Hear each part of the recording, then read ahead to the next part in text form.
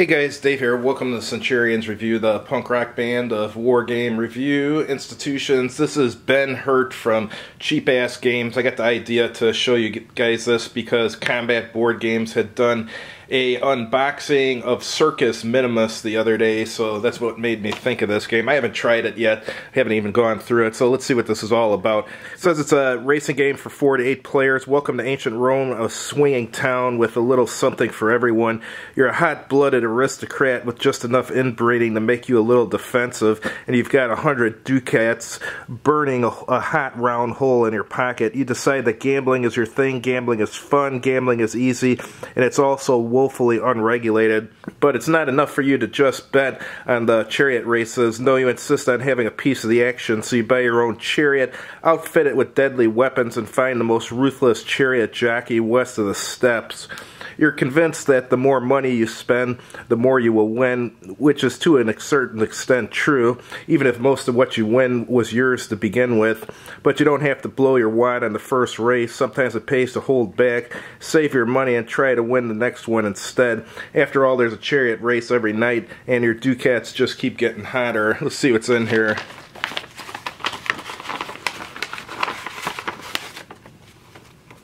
Alright, let's take a look, see how long the rules are. Rules are just four pages long.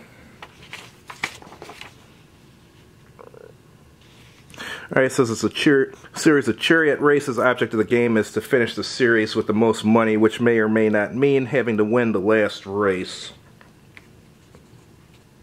Each race has two parts. First, there's an auction in which players try to buy cards to improve their hands and sweeten the pot for the race. Then there is the race in which players run their chariots around the track and use their cards to try and gain the advantage. Races can have from one to six laps as determined by the players before the series begins.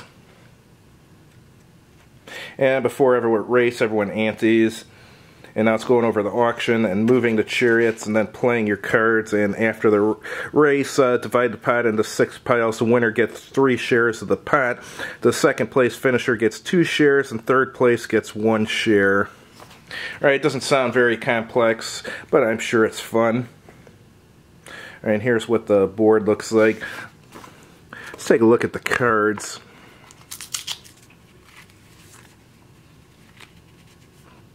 Move, play after any player rolls a movement die, change the roll to 0, change the roll to 2, change it to 5. Move 4 spaces, your speed becomes 4. Destroy one improvement, the effects of that improvement wear off at the beginning of the next turn. And change the roll to 2. I'm not going to go over every single card, but we'll go over some to get the general idea. Speed burst, your speed becomes 6. Change the roll to 3, change the roll to 5. The player may re-roll if the die is recast, the original roll can't be used. Alright.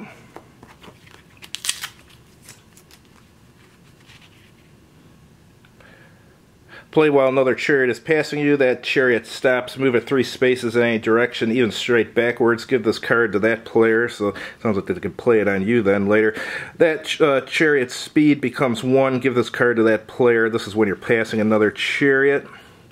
And when you're taking your move, put this card in the track behind the chariot. Every square completely covered by this card becomes impassable for the rest of the race. Interesting. Change the roll to four. Alright, and here's the last one here.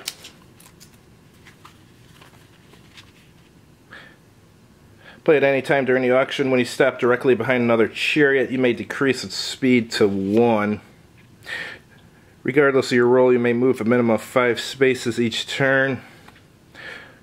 Play during the auction, Xerxes may choose to roll a 4 instead of rolling the movement die. Each time he does this, pay the pot 3 ducats and change the roll to 6. Let's see what the board looks like. Looks like the board is in many little pieces here.